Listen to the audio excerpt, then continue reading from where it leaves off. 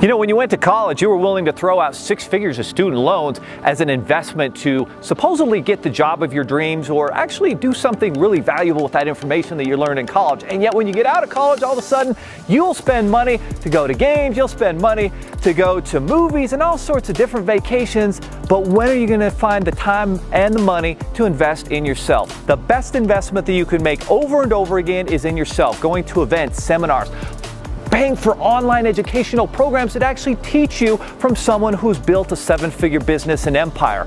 Learn from them, invest in them, and now you've got a chance for real success. The best investment that you can make that pays off so big over time is in yourself. So stop being a tightwad and invest in yourself and watch the profits come in.